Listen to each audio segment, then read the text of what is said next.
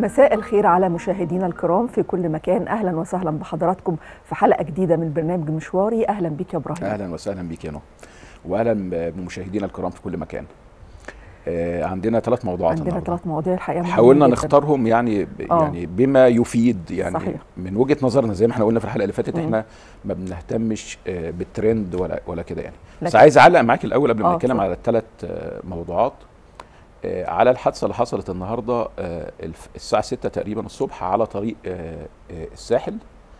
آه. آه، واللي ما زالت ال- الأرقام آه، الوفيات والإصابات ما زالت آه، غير مؤكدة ومتباينة إلى حد كبير. لكن هو كان أتوبيس آه، تابع لشركة آه، جو باص تقريبا جنوب العالمين كده. آه، آه، آه، حصل إن هو تصادم مع آه، عربية نقل. فكما قيل يعني نقلا عن وسائل الإعلام إن هو الجنب اليمين في ال- في الأتوبيس تقريبا كله آه، يعني تعرض آه، لتدمير نتيجة وقيل إن السواق كان بيسوق بسرعة جنونية وقيل إن. عدد المتوفين برضو يعني تقريبا ستة والإصابات حوالي يمكن 26 أو 30 الاتوبيس اللي آه. غلطان كان بيسوق. ما هو آه يعني حتى اللحظة دلوقتي الكلام كله على إن الأتوبيس كان بيسوق بسرعة جنونية. طبعا حادثة مأساوية. إحنا بنتقدم طبعا بالعزاء لكل الأسر المتوفين. ونتمنى ال ال ال الشفاء العاجل للمصابين. ويعني نتمنى الحوادث دي آه، تقل. هو طب طبعا تم نقل آه، بعض ال- جثث المتوفين وال- لمستشفى العالمين والمصابين آه، في مستشفى الضبعة وراس الحكمة يعني.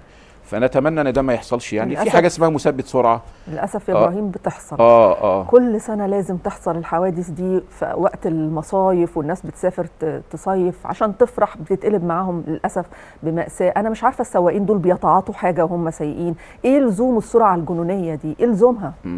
هو في حاجة اسمها يعني يعني أنت عارفة أنت مش هتقدري تراقبي كل سواق أثناء القيادة لكن طبعا. تقدري تحطي زي سيستم يرفع آه، من كفاءة آه، الرقابة على السواق يعني مثلا في تركيا بيعملوا زي ما يشبه الصندوق الأسود لمراقبة السرعة بيبقى في كده جهاز بيسجل فيديو السرعة اللي ماشي عليها السواق ويبقى في كمائن كل فترة فبيطلبوا منه ال- آه، ما يساوي ال- الصندوق الأسود ده ولما بيثبت ليهم إن السرعة كانت فيها تجاوز وكده بيعاقبوه على طول آه. وفي جهاز اسمه جهاز تثبيت السرعة دايما معظم آه. أتوبيسات وزارة السياحة آه، بتعمل بيه في يعني المسافات فإحنا- الطويلة قوي آه آه. يعني يعني آه آه، جهاز تثبيت السرعة اللي هو مثلا إيه آه، أقصى سرعة العربية دي إجباري 120 مهما آه. السواق داس بنزين مهما كذا هي 120 ماشية على 120. مثلا آه فنتمنى يعني نحاول نشدد الرقابة آه، بشكل ولا قوة أكثر. آه، يعني إفادة عن كده وفي نفس الوقت نتجنب الحوادث يعني. أنا زعلت قوي يا إبراهيم. معلش يعني إحنا عندنا هو عندنا حوادث الطرق بتسجل آه. وفيات سنوية رقم كبير جدا ما- لا، بتتجاوز ب- 7000 دي أنا آه، عندي فوبيا من حوادث الطرق دي. يعني بتسجل 10000 وفاة سنويا.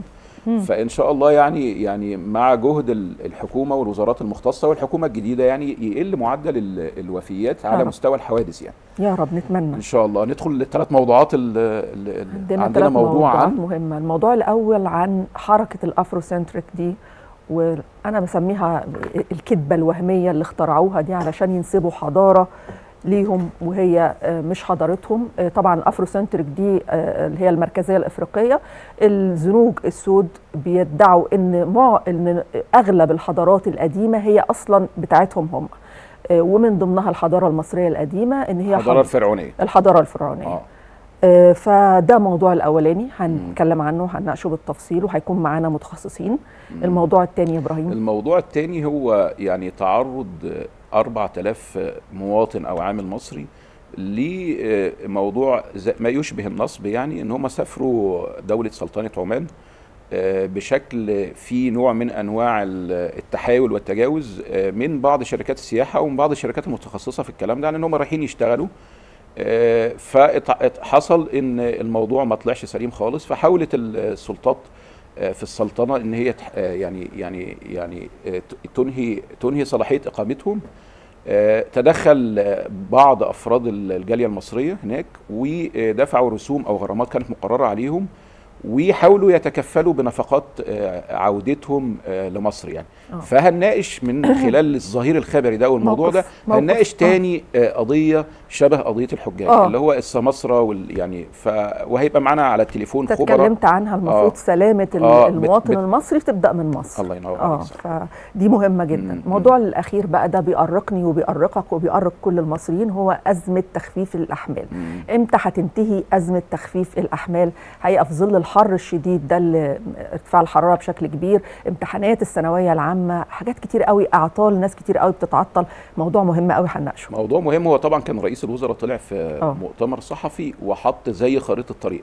آه. لموضوع آه، تخفيف الأحمال وقال إن هو آه، أول ثلاث أيام هيبقوا آه، تخفيف الأحمال لمدة ثلاث ساعات. بعد كده لمدة ثلاث أسابيع آه، 21 الشهر القادم هي هيتم تخفيف الأحمال لمدة ساعت ساعتين فقط مش ثلاثة وهيكون وصلت شحنات من الغاز تم التعاقد عليها وتدخل حيز التشغيل.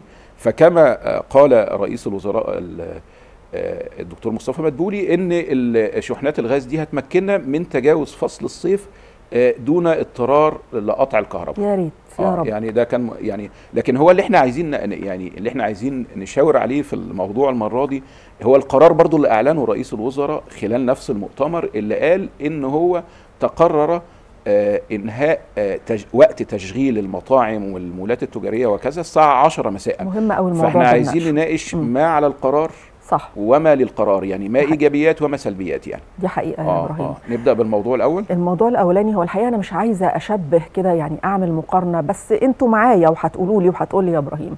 نرجع كده للتاريخ آه، لورا. كان في اليهود مضطهدين آه، من قبل الأوروبيين آه، كان في حالة اضطهاد ليهم وحبوا يعوضوهم وادوهم أرض مش بتاعتهم. ده اختصار الموضوع يعني. نفس السيناريو بيتكرر تاني.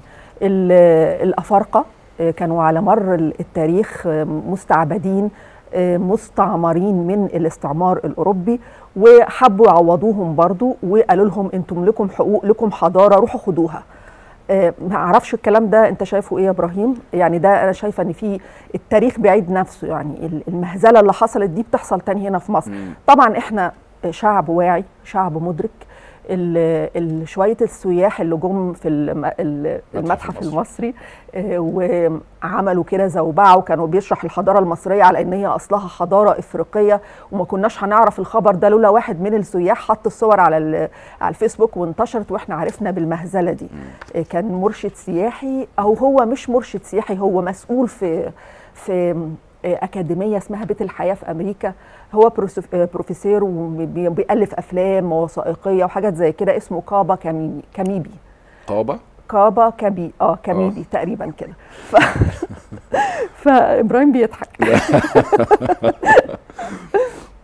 بصي هو هو زي ما انت قلتي كده حالا دلوقتي إن هو كان في آه، نوع من أنواع آه، احتكار أو طمس الث- الثقافة آه، آه، ال- الأفريقية.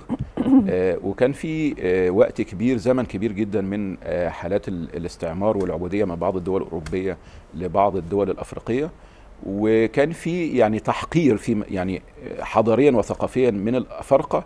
فيعني قيل إن إن هم محاولة الادعاء آه، بإن الحضار بعض الحضارات وعلى رأسها الحضارة الفرعونية آه، أصلها آه، آه، أفريقي آه، ده آه، يعني نوع من أنواع آه، الدفاع عن موقفهم ضد فكرة إن هم ما عندهمش حضارة إن هم ما عندهمش كذا.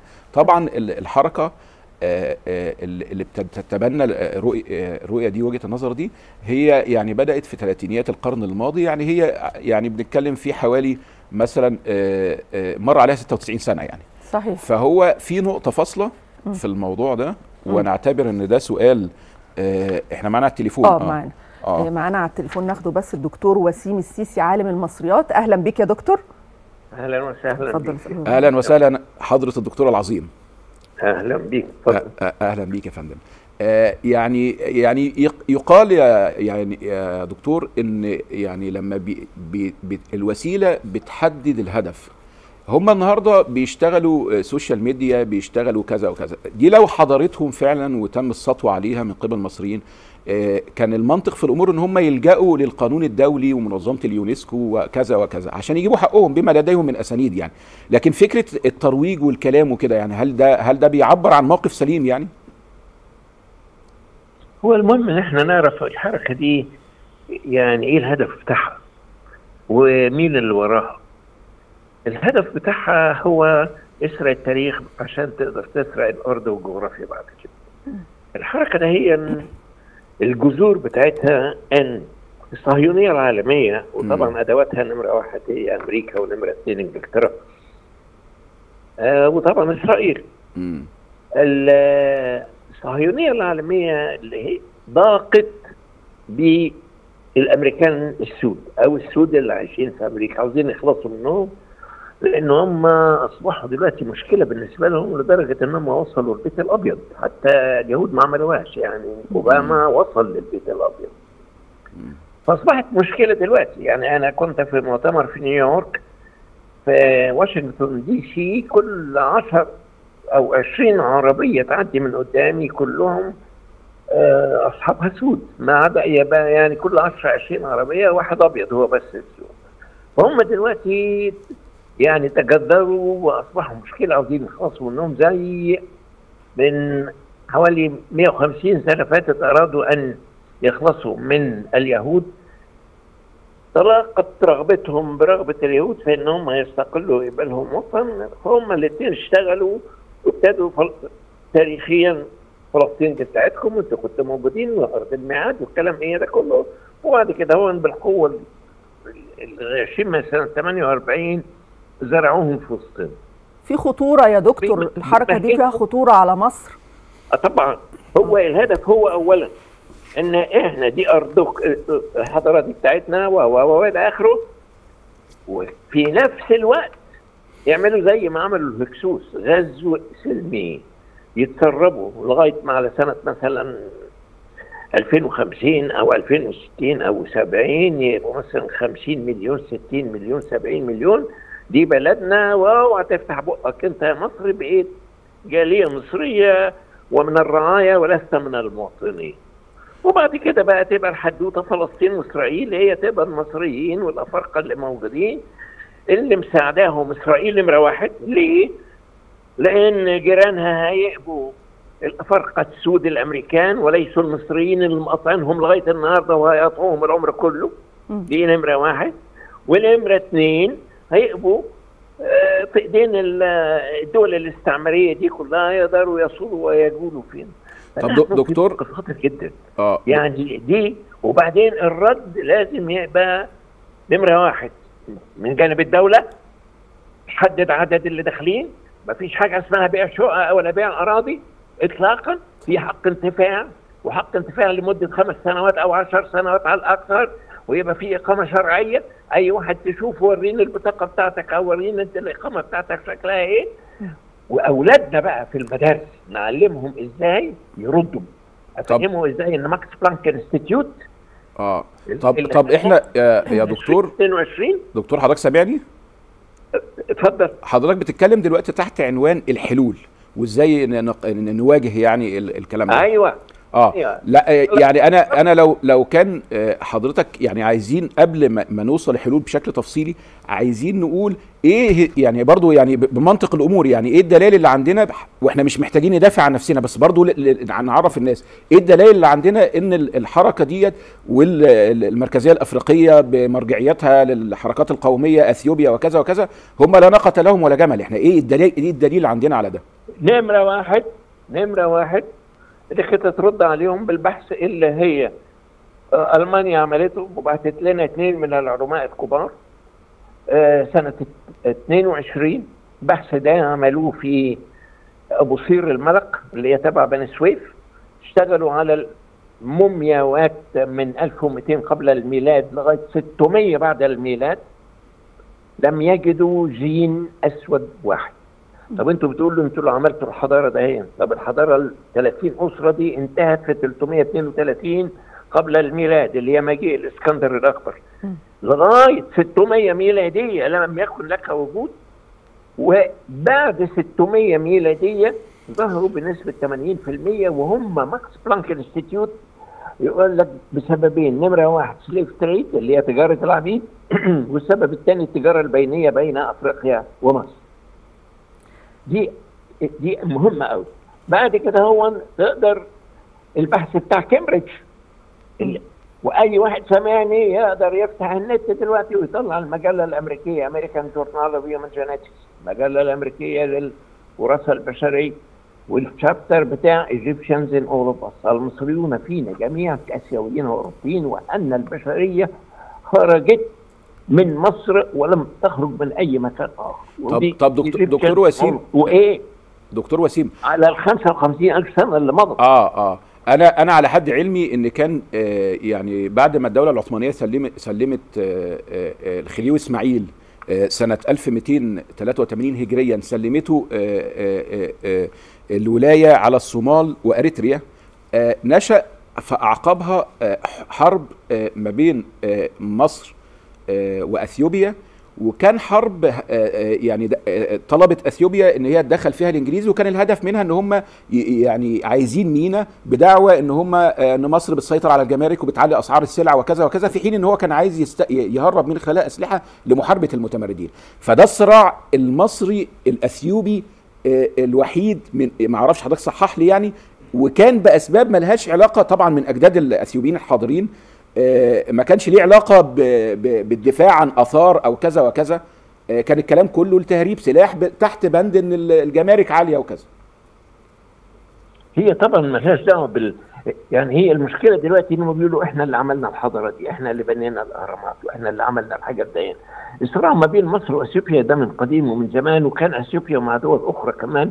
وحتى لما تيودور هيرزل حب يطلب من إنجلترا إن ياخد أوغندا كوطن قومي لإسرائيل قالوا له لا.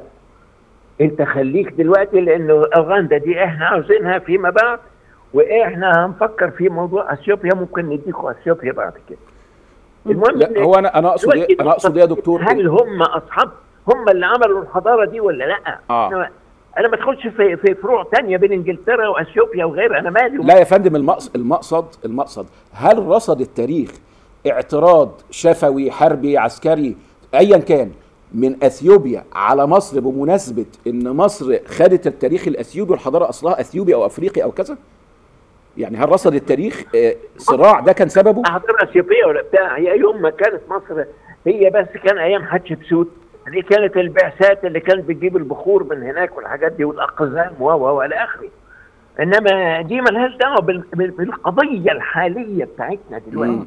بيقولوا إحنا طيب انت مالكش وجود عندي. يا سيدي إيه دليلك؟ دليلك الماكس بلانك Institute. دليلك كامبريدج research work. دليلك ستانفورد وبرشلونة. البحث بتاعهم اللي قال.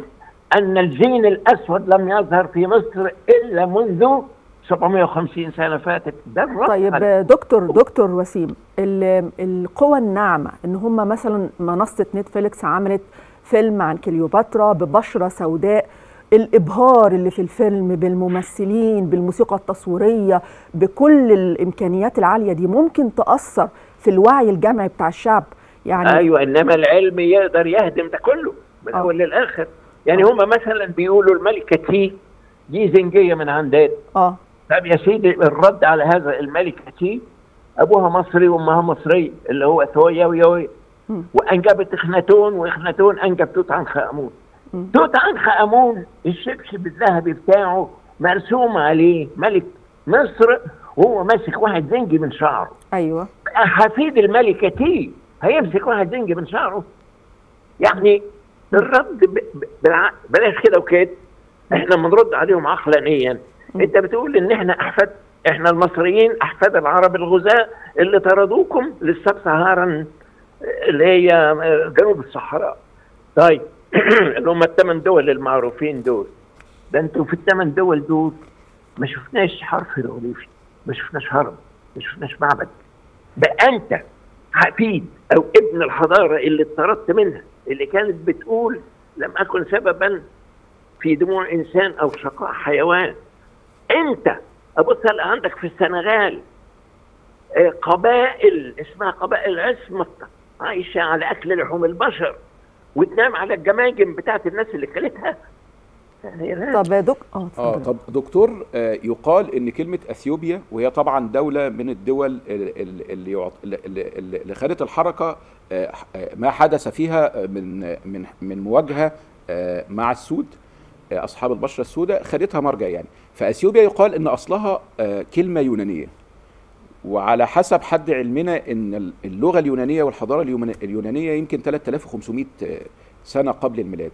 فحتى يعني لو كان اسمكم آه، كده ف دي تهمني في إيه؟ إثيوبيا كلمة يونانية. آه، لأن يعني أنا أنا شوف لا هرد على حضرتك. مثل انجليزي لا بيقول لك هقول لحضرتك يا دكتور. لا آه، بس اسمعني. اتفضل. to be terrific be specific عشان تبقى رائع خليك محدد. انت متوهني مع اثيوبيا غير اثيوبيا و... طب ما تقرا لا ح... حض... لا حضرتك مش متوهك ولا حاجة. ال- حركة المركزية الأفريقية خدت إيه؟ ظهير ليها يا فندم. واخدة خدت الدول الأفريقية على رأس أثيوبيا. طيب الرد يبقى أنا أنا لما أجي النهارده أفند مرجعيتها وأتكلم على أثيوبيا على سبيل المثال اللي هي أصلها كلمة يونانية وعمر الحضارة اليونانية. أثيوبيا كلمة يونانية. إذا كانوا هم نفسهم الافارقه مسميين نفسهم كيمت وكيميني ده الراجل المجرم اللي جاي عندنا هنا في في, في المتحف الكبير مسمي نفسه إيه؟ كعبة. لا حضرتك كده اللي بتتوهني يا دكتور. آه، أثيوبيا كلمة يونانية. أنا عايز أعرف تاريخ الحضارة اليونانية بيمتد لكام سنة؟ وتاريخ الحضارة المصرية بيمتد لكام سنة؟ ومن هنا يظهر الحضارة المصرية أقدم من من, إجابة. من لفظ عاوز أثيوبيا. الإجابة. اتفضل. عاوز الإجابة. آه اتفضل. أفلاطون جاء عندنا 450 قبل الميلاد. وقعد 13 سنة وعلمناه الفلسفه وكتب في كتابه القوانين ما من علم لدينا إلا وقد أخذناه عن مصر. سولون جاء عندنا هنا في مصر واضطر لاعتناق الأمونية حتى يستطيع أن يدخل المعابد ويتعلم القانون ورجع به إلى أثينا وسماه قانون سولون. بيتاغورس اللي هو فيثاغورس جاء عندنا هنا في مصر قدم على جامعة أم رفضوه وقبلته مدرسة عادية جدا. وقعد عندنا هنا 22 سنة ونحن نعلمه الجبر والهندسة والرياضيات اللي طالعين به السما دلوقتي من الأول للآخر لما تقرأ كتاب مارتن برنال وهو رجل معاصر لينا اسمه Black Athena أن اليونانيون كلهم جميعا كل ما أخذوه من مصر لدرجة أخذوا نصف الأبجدية الهيروغليفية اللي هي الحروف اليونانية بتاعتهم.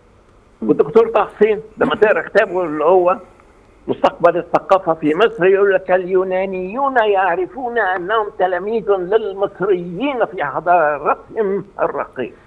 آه، طيب دكتور وسيم حركة الأفروسنتريك دي جاية من الأم- الأفارقة الأمريكان اللي هم اللي مش من من القارة الأفريقية نفسها صحح لي الكلام ده لو غلط اتفضل. ال- ال- حركة ال Afrocentric دي بيتبناها الأفارقة الأمريكان بدعم آه. أمريكي صهيوني أوروبي. مش آه. الأفارقة اللي موجودين في قارة أفريقيا. آه. المعلومة دي صحيحة؟ شوفي في جامعة هارفارد عملت شغل جامد قوي يا جماعة اعتمدوا على الجينات أساسا من أول عملت شغل على القرن الأفريقي اللي فيه ثلاث أربع دول هناك منهم إثيوبيا. طلعت نمرة واحد. إن ال- اللي موجودين دلوقتي الجينات بتاعتهم جينات مخلطة وليست الأصليين. نمره اثنين. إن جينات المخلطة والأصليين إنما ما لهمش علاقة بالجينات المصرية من الأول للاخر اقروا اقروا هارفارد؟ كاتبه إيه؟ ولسه. ريسنت الكلام ده. نعتمد على العلم والرد بالعلوم من الأول. للآخر. صحيح. إنما هم نفسهم مسميين نفسهم الزنوق. والراجل اللي اسمه الشيخ آه، آه، الشيخ دايوب آه، لا أنت دايوب. آه أنت دايوب الدكتوراه آه. بتاعته اللي خدها بعد طلوع العين لأن كانوا رافضين واخدها من السوربون آه. اللي هي الجذور الزنجية في الحضارة المصريه وطبعا تدخلت السياسة وضغطت على السوربون عشان يدوا له الدكتوراه في الموضوع ده هو آه. فهم مسمين نفسهم الزنوب فالعرق الزنجي أو الجين الزنجي ملوش وجود عندنا في مصر. صحيح. إلا 8% اكوردنج لماكس بلانك 9% اكوردنج ل آه، لوبك طب دي النو- برضه جامعة النوبيين في ألمانيا. النوبيين يا دكتور. طبعا من ست من 8 ل 9 يعني.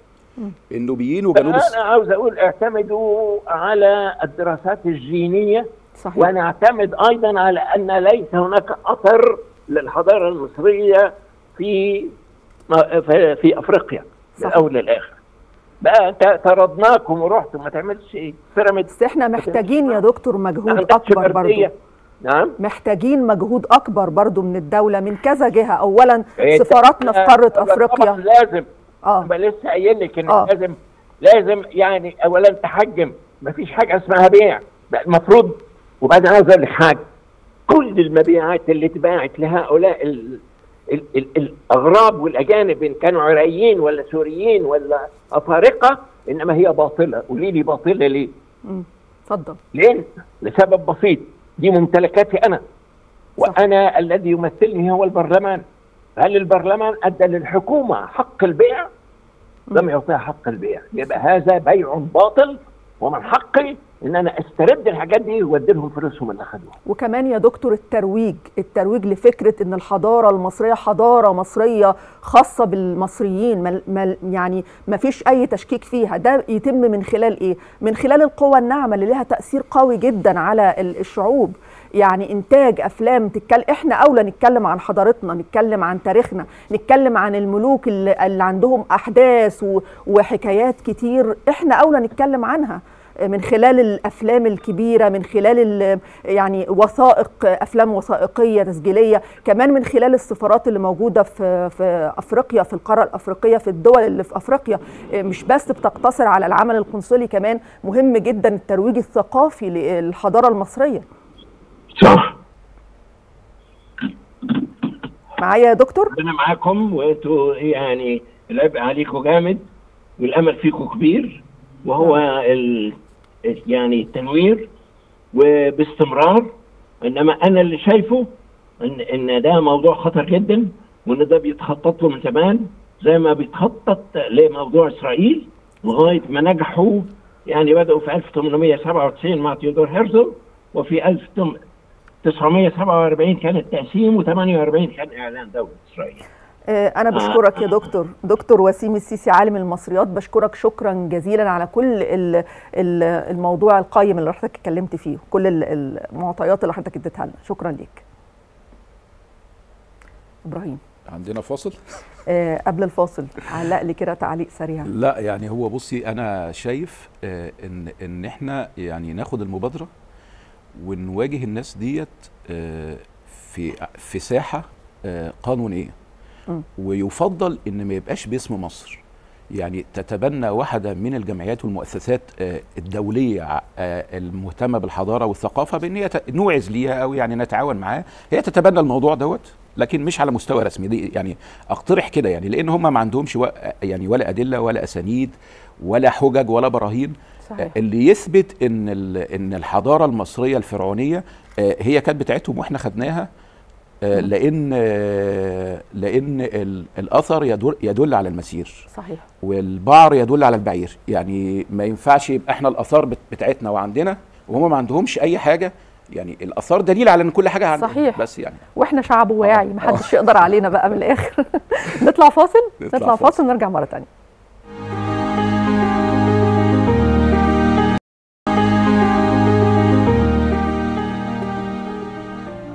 ورجعنا مرة أخرى بنجدد التحية لحضراتكم وفي موضوع مهم جدا هنتكلم فيه هو أزمة العمالة المصرية اللي تكدست في سلطنة عمان.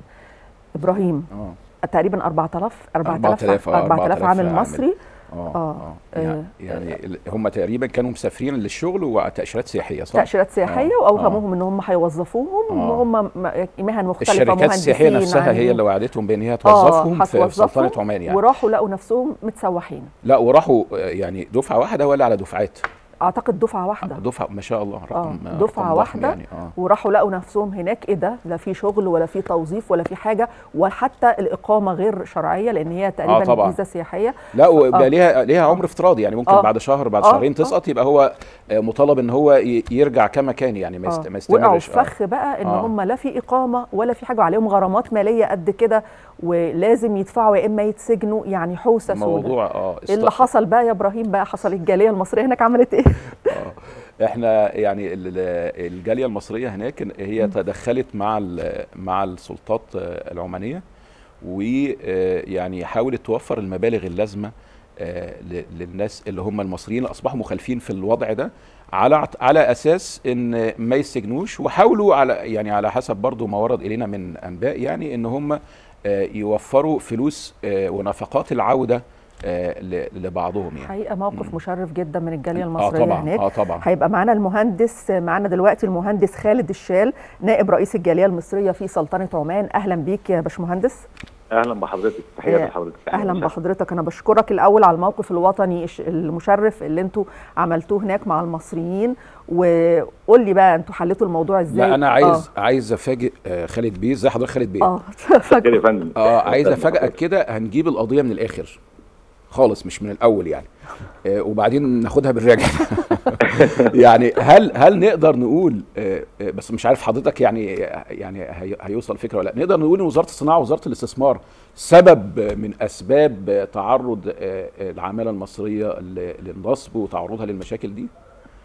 بعيدة شوية صح؟ والله بص حضرتك هو تحديدا المشكلة متمثلة آه. في بعض المكاتب اللي هي آه، بتعمل تأشيرات السياحة وكده. هي دي الحقيقة ال- يعني ال- السبب الرئيسي والأساسي في الأزمة الكبيرة. اللي مر بيها كتير من المصريين آه، في الأزمة بتاعتنا دي طبعا يعني مين بقى مسؤول عن دي بصراحة يعني أنا يعني مش عارف بالظبط لكن الحقيقة الناس دي فعلا فعلا أذت الناس اللي بطبيعة الحال بتحلم بفرصة عمل وبتحلم وده حلم حضرتك حطيت إيدك وعايز أربط. آه. لو وزارة الصناعة ووزارة الاستثمار آه اشتغلت آه يعني بالكفاءة المطلوبة هتوفر فرص العمل. فيبقى المواطن مش محتاج يسافر بره أو لما يجي يسافر آه مش هيشتغل بطريقة إيه اللي رماك على المر أو يبقى مش مدقق لأن هو تحت ضغط البطالة. فده الربط ال- في البداية. يعني حضرتك حطيت الجملة ال- النص الثاني من الجملة وأنا كنت حاطط النص الأول. والله بص حضرتك يعني آه. يعني العالم كله الناس بتسافر آه. وبتبحث عن فرص عمل وعايزة تزود دخلها العالم كله مش مصر صح بس طبعا. يعني. لكن الحقيقة اللي بيزعلنا إن ال- الطرق النصب والاحتيال واللي إحنا بنشوفه دوت ده إحنا ما شفناش في العالم كله مم. صحيح بتحصل حالات فردية في دول هنا وهنا لكن عندنا في مصر الفترة الأخيرة المكاتب دي الحقيقة يعني عملت حاجات والله يندى لها الجبين يعني مم. يعني بتفسر يعني- حضرتك ده بإيه يعني نعم. يعني- بتفسر حضرتك إن ال- المكاتب دي بتمارس مخالفاتها وبتعمل حاجات أكتر من المتعارف عليه على مستوى العالم. إيه السبب ورا ده؟ بص حضرتك السبب حاجتين. إن أول حاجة بيستغل آه، رغبة ال- الناس إنها تطلع وتسافر وتدور على فرصة عمل وتزود دخلها وده زي ما قلت لحضرتك ده حلم مشروع يعني. طبعا. والحاجة الثانية إن هو برضه يعني بيستغل أهلنا البسطاء الموجودين في المحافظات أو هنا أو هنا بيعرف إن هو يعني يبيع له وهم يؤثر عليه آه يوهمه صح. آه. آه فهو طبعا بيدخل له من المدخل ده يعني يقول له آه والله في فرصة عمل بره في سلطنة عمان وأنت بتقبض مثلا بكذا وبتاخد كذا و و و و. طبعا اللي بيسمع الكلام ده ما بيبصش في التفاصيل يعني. آه. واخد بال حضرتك؟ بيصطدم بالكارثة إمتى بقى؟ لما بيوصل هناك في عمان. وبيجد إن هو بقى اولا طالع على تشريح تأشيرة سياحة وليس تأشيرة عمل. وبالتالي ما فيش جهة أصلا هو رايح يشتغل فيها. وبالتالي آه، يقول لك أحيانا ده طالع تأشيرة حرة ويدور على شغل ما فيش لا تأشيرة حرة. هم هم تجاوزوا يا فندم مدة الإقامة بقد إيه؟ الإقامة الرسمية تحت تحت بند التأشيرة اللي معاهم تجاوزوها بمدة. قد إيه؟ بص حضرتك في ناس طبعا هي التأشيرة بتطلع شهر بعدين ممكن تتجدد فترة بسيطة وخلاص. مم. فطبعا في ناس بقى خلفت بعد التأشيرة دي كسرت الفيزا ممكن في حد قعد شهر اثنين ثلاثة وكانت الغرامات المقررة عليهم قد إيه يا فندم؟ نعم. الغرامات المقررة عليهم السلطات السلطان الرئيسي. والله بص هي الغرامات بتكون بصورة يومية آه. آه. وبعدين بتزيد لغاية ما توصل للحد الأقصى بتاعها 500 ريال عماني. طبعا 500 ريال عماني ده مبلغ تقريبا حوالي 60 70 ألف جنيه تقريبا. آه آه آه. يا فطبعاً الدفع يا الحبس يعني. يا غير. بقى ده, دي كمان حضرتك دي الغرامة المقررة. آه. طيب هو بقى عايز يرجع. يعني هو أصلا منصوب عليه وبيمر بظروف من أصعب ما يمكن. وكمان معهوش بقى فلوس إذا كان جايب فلوس ولا حاجة خلاص خلصت. طبعا المصريين بقى مش عايز أقول لحضرتك بقى يعني زي ما جدعان بنقول آه يعني زي ما بقول ال... ال... ال- في ناس فئة هي موجودة. للأسف الشديد يعني انعدم عندها الضمير وكده. في بقى معدن أصيل للمصري بقى في بره في الغربة. ما أقدرش بقى أقدر أحكي لك يعني من هنا لبكرة ما يعني. شاء الله ما شاء الله. ربنا آه يعني والله. يزيد من من أعمالكم. طب آه، آه، ح- حضرتك هل في مكتب تمثيل عمالي في في في سلطنة عمان؟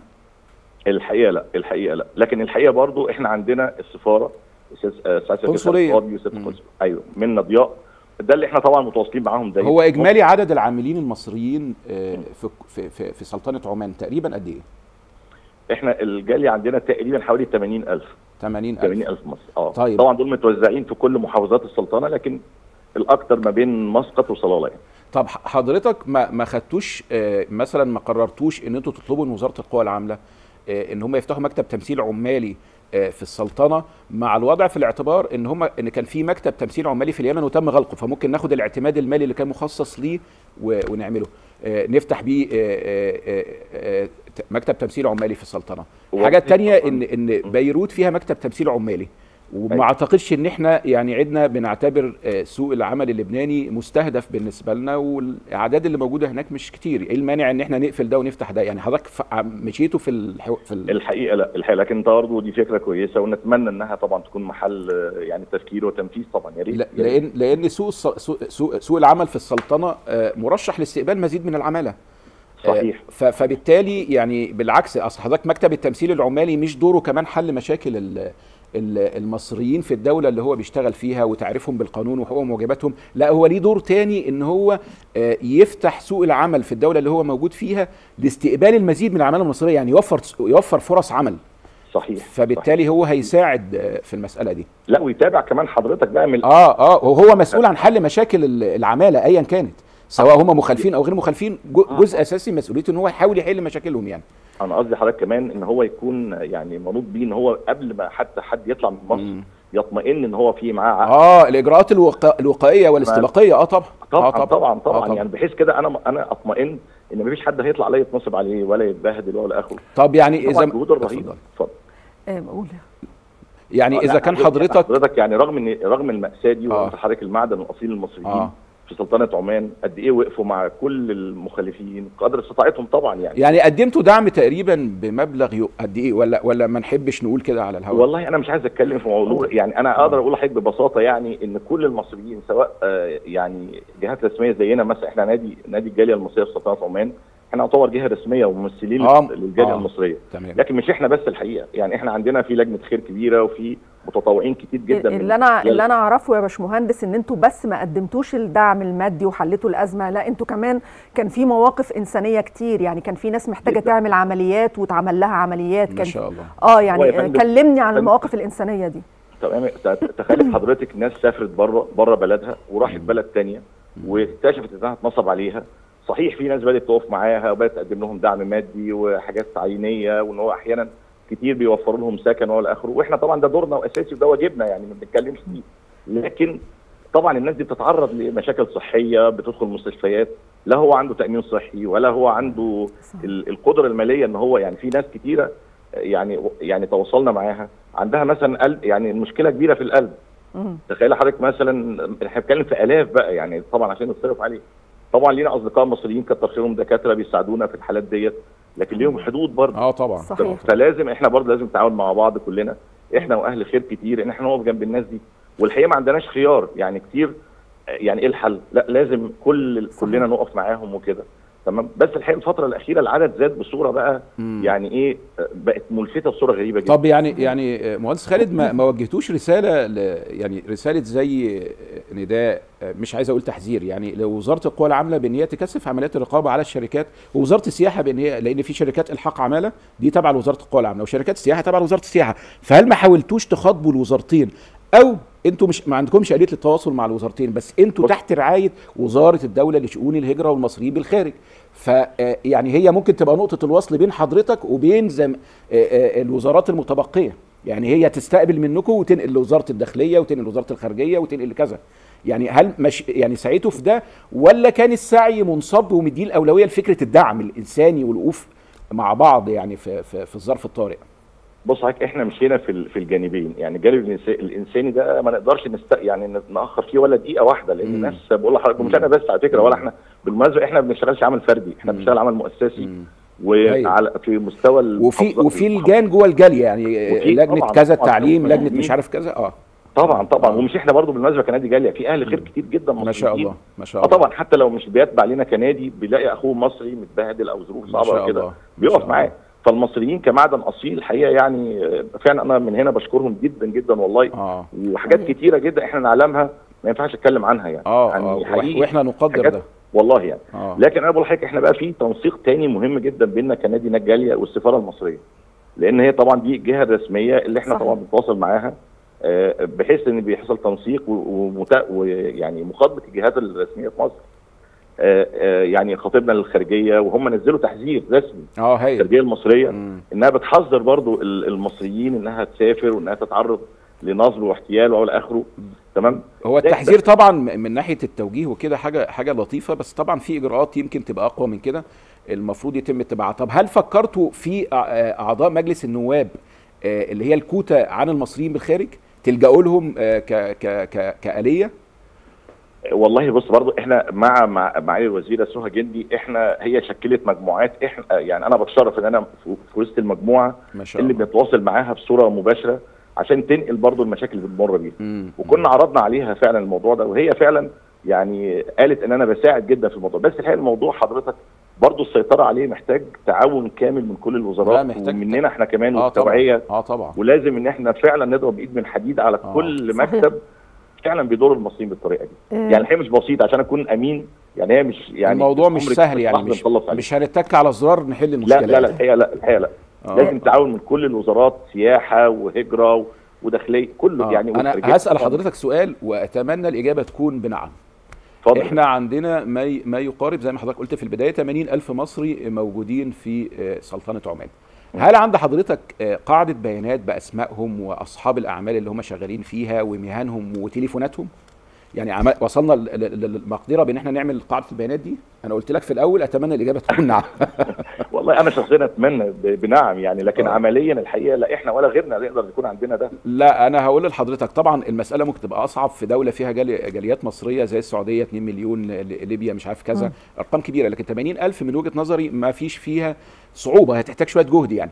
لكن آه، لو من خلال وزارة الهجرة آه، يتم التنسيق آه، إن مصلحة ال- الجوازات أو آسف المطار مثلا مطار القاهرة اللي هو المنفذ ال- ال- الأول لل- للسفر للخارج هو هو بي- بيشوف التأشيرة وبيشوف ال- ال- المواطن رايح فين. ممكن ببرنامج صغير خالص يسافر من عنده النهارده 100 يعرف يقول إن في 10 رايحين سلطنة عمان بتأشيرة سياحة هي عنده هو معاه التأشيرة ومعاه كل حاجة دي ممكن تبقى آلية تساعد في تكوين قاعدة البيانات مع آليات تانية كتير ممكن يعني حضرتك. مع وزارة القوى العاملة مع وزارة السياحة مع الشركات يعني لازم بس أنا برضه زي ما قلت لحضرتك الأمر مش هيكون بالسهولة مش. يعني طبعا ده يحصل محتاج جهد. لكن أنا أتمنى كل مصري بره حضرتك مم. طبعا يكون ده. يعني إحنا كتير يجي لنا مثلا إن في مصري عنده مشكلة في المكان الفلاني. أنا مع يعني عشان ابحث عليه أو اوصل اليه وكده أحيانا بيبقى الامر مش سهل يعني. المفروض بقى لو اتفتح مكتب التمثيل العمالي. هيساعد.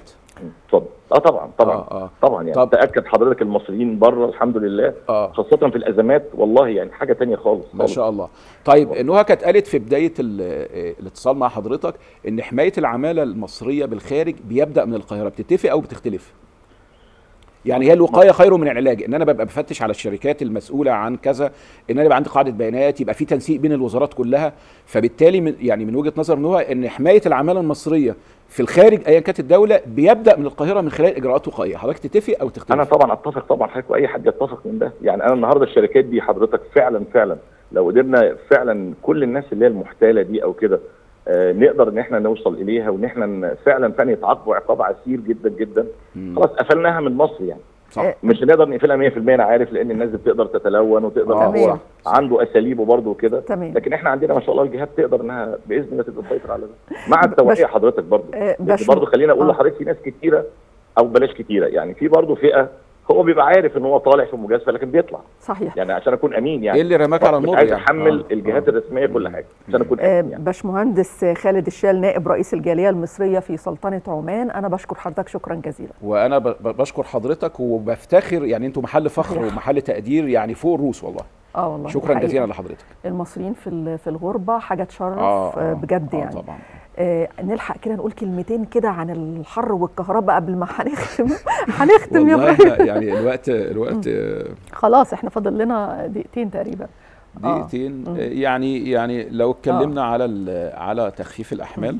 آه. يعني آه، دقيقة ال- سريعا كده يا إبراهيم. آه آه تع- تعليق سريع. يعني آه، آه، قيل إن تخفيف الأحمال له أهداف اقتصادية وهو توفير مليار آه، دولار سنويا. لكن للأسف مع التطبيق ثبت إن هو آه وهو بيوفر مليار دولار ممكن يكون بيخسرنا أكتر من كده. يعطل الاستثمار والاقتصاد. بي- بيعط يعني أنت عندك خمس مصانع أسمدة بتصدر بالعملة الصعبة للخارج. آه آه وقفت بسبب خمس بس, نعم بس المصانع دي يا إبراهيم بيقطع آه. فيها الكهرباء تقطع فيها أعتقد في الكهرباء. قنوات في في لا ده هم اعلنوا هم أعلنوا عن أعلنوا؟ كده آه طبعا آه آه طبعا سمعت التصريح إن لا. المصانع مستثناة من قطع الكهرباء لا لا ما هو بقى دي المشكلة الثانية اللي عندنا آه. بس دي محتاجة شرح كتير إن إحنا ما عندناش تخطيط عمراني جيد صحيح. واستخدام ال- الأراضي بشكل آه. جيد آه فده بيخلي المستشفى جوه المنطقة السكنية المصنع قريب مش عارف من كذا صحيح. الورشة فبالتالي لما بيجي يقطع كهرباء بيقطع كهرباء عن أماكن حيوية مع أماكن سكنية وده بيخوف يعني يعني. تخيلي مثلا آه، آه، مستشفى آه، آه، للأطفال مم. آه، مستشفى الأطفال دي موجودة جوه حي شعبي وده مسموح. بيه فلما بيجي يقطع الكهرباء عن الحي الشعبي ده آه، بيقطع الكهرباء عن. المستشفى فبتحصل مشاكل كتير يعني بص يا بص يا إبراهيم الموضوع ده مهم جدا مش هينفع إن إحنا نكروته كده إحنا هنعمل له حلقة إن شاء الله ونتكلم. عنه بقى عشان ده يخصني شخصيا بقى إن شاء الله وقت حلقتنا آه، انتهى. بسرعة آه. يعني ال- الأمور بتجري بسرعة يعني آه فإن شاء الله يعني نتمنى تكون الموضوعات اللي إحنا قدمناها لحضراتكم النهارده أفادتكم وإن شاء الله نلتقي بيكم في حلقة قادمة إن شاء الله في نفس الموعد. شكرا جزيلا.